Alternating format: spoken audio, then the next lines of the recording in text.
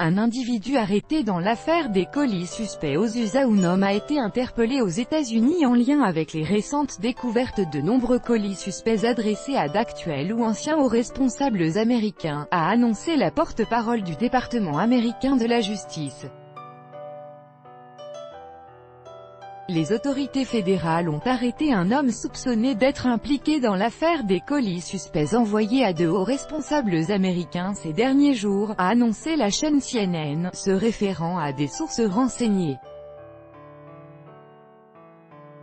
Ces informations ont par la suite été confirmées par la porte-parole du ministère américain de la Justice, Sarah Isgur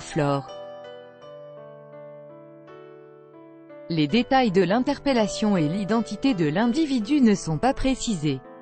Selon certaines informations, l'arrestation a été rendue possible grâce aux erreurs de calcul du suspect lui-même.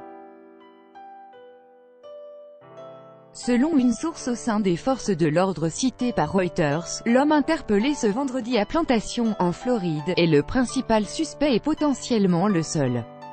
Des colis piégés adressés en vague à des personnalités démocrates, notamment l'ancien président Barack Obama, l'ex-secrétaire d'État Hillary Clinton, l'ancien vice-président démocrate Joe Biden, ainsi qu'à la chaîne CNN, ont été interceptés mercredi aux États-Unis où le FBI enquête sur ce qu'il considère comme des actes terroristes.